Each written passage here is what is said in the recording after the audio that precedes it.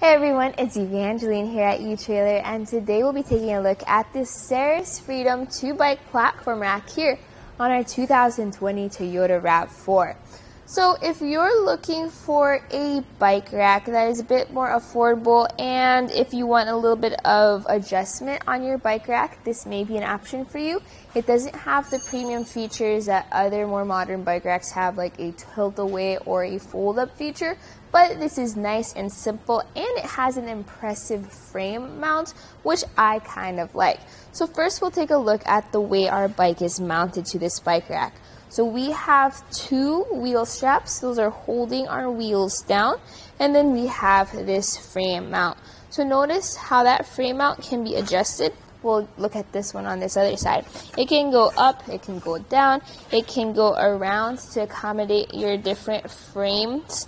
And this is nice, especially if you have an alternate frame bike, like a women's bike or a children's bike, or possibly even a step through bike, because then you don't have to hold it up by the top tube like the traditional hook would.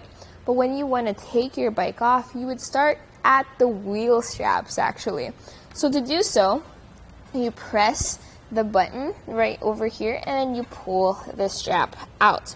One thing I did notice though with the Saris Freedom was it's kind of unwieldy just to maneuver that strap.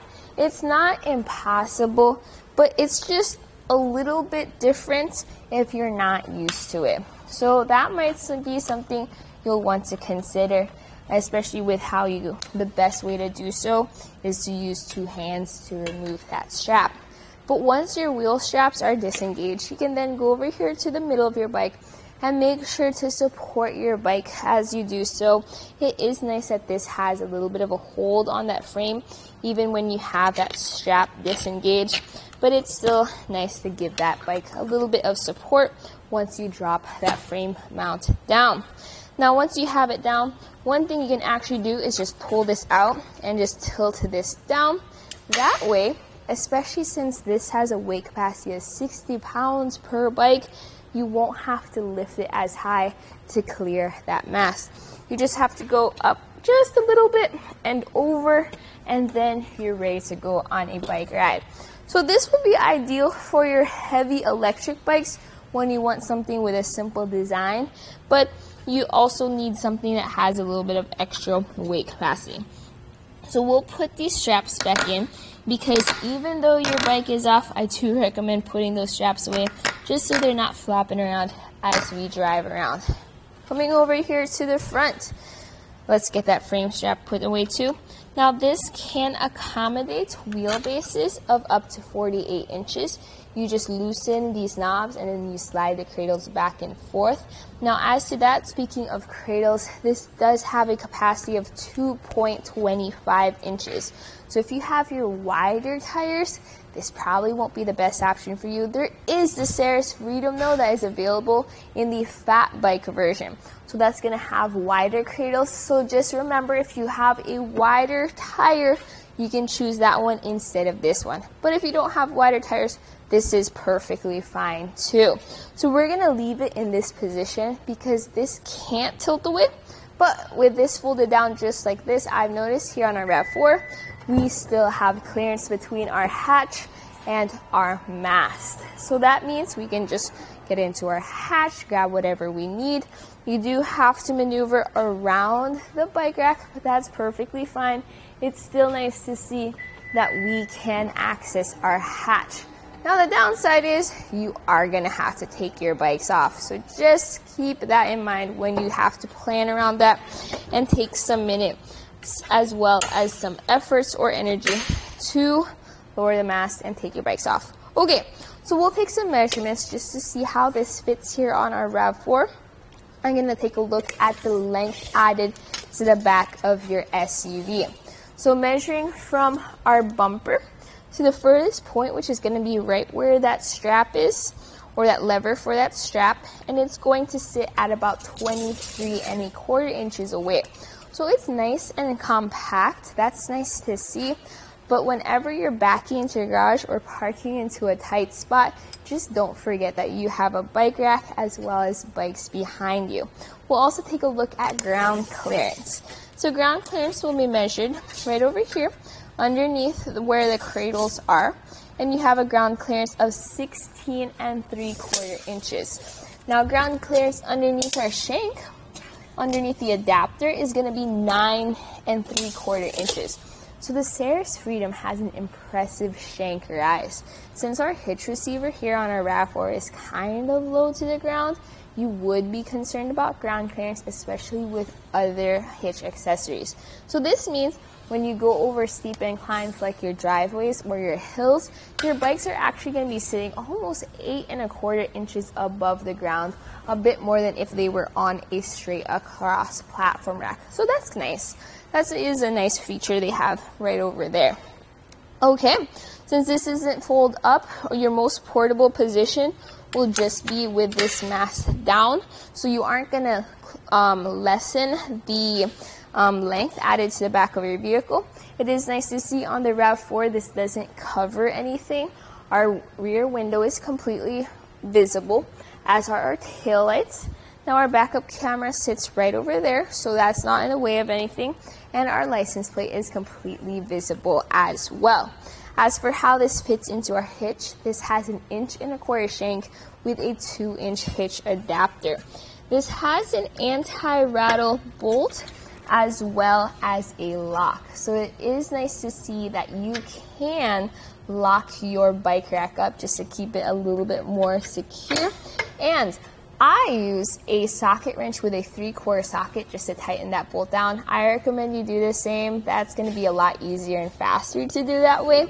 But with the anti-rattle bolt, you can see as I shake this side to side, just to mimic the road stress and road vibration, I'm really moving the car, showing that even with that adapter, most of our rattle is taken out, which is great. So my final thoughts about the Saris Freedom bike rack is it's a nice compact bike rack. If you're looking for something that doesn't take up too much space in your garage, this might be a good option for you. This also has a really high weight capacity of 60 pounds per bike, which is great for your heavier electric bikes. Now, if you're looking for nice ease of use features like tilt away or fold up, this does not have that. So you may want to consider that. We do have other options as well.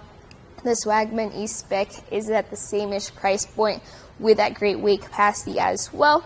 And it has some locks integrated into it. We also have the Kuat Transfer, which you can tilt down as well as carry heavy bikes on if you get the 2 inch version. But all in all, this does fit on our RAV4. We do have access to our hatch with this folded down and we get pretty good ground clearance, even though our hitch receiver is on the low side. So that was a look here at our Saris Freedom 2 bike platform rack on our 2020 Toyota RAV4. Here you see it out on our test course. First we'll go through the slalom, which will show you the side-to-side -side action, such as making turns or evasive maneuvers. Next we'll show you the alternating speed bumps, which will show the twisting action, like you might see going over uneven pavement or hitting a pothole, or maybe running over a curb.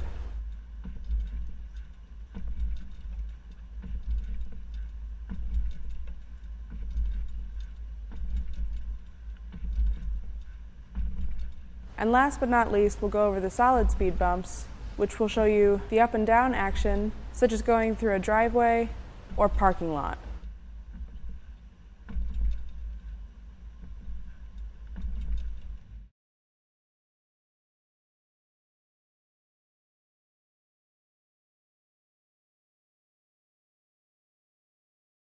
Here on our test course, we'll start by going through the slalom. This is going to show us the side-to-side -side action.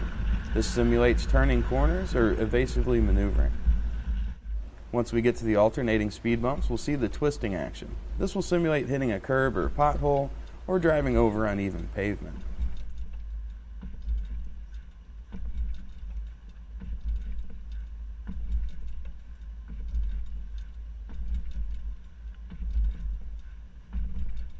Once we get to the full speed bumps, we'll see the up and down action. This will be just like driving in and out of a parking lot, parking garage, or driveway.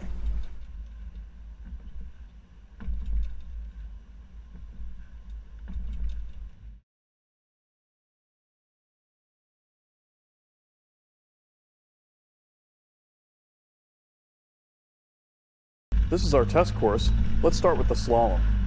This shows side-to-side action such as turning corners or evasive maneuvering.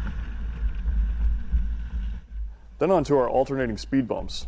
This shows twisting action such as hitting curbs, potholes, road debris, or uneven pavement.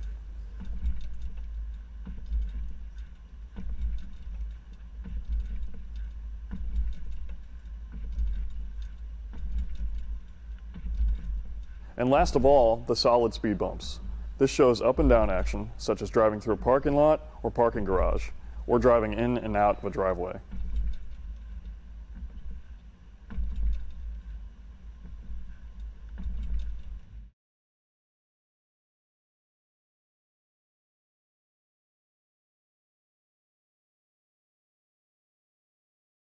Here it is on our test course. First is the slalom area, which simulates side-to-side action like turning the corners or evasive maneuvers.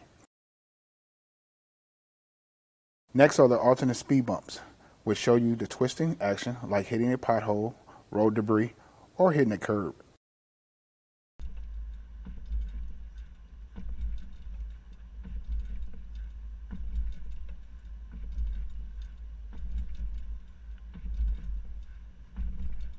Finally, we are at the solid speed bumps, which show you up and down action to simulate a parking garage or coming out your driveway.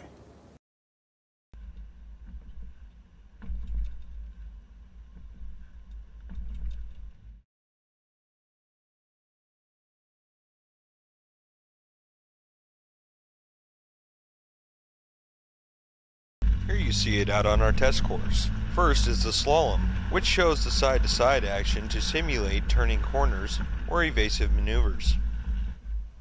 Next are the alternating speed bumps, which show you the twisting action such as hitting a pothole, road debris, or going over a curb.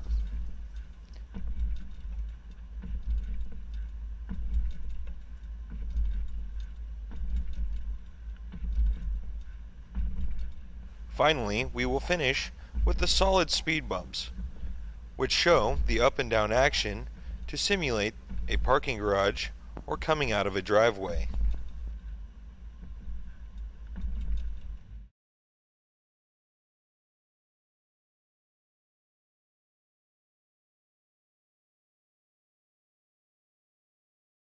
Here it is on our test course.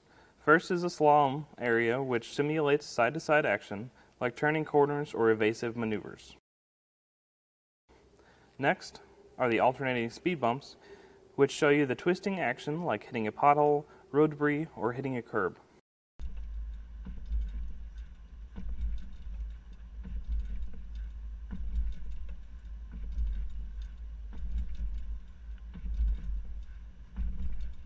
Finally, we are at the solid speed bumps, which show the up and down action to simulate a parking garage or coming out of the driveway.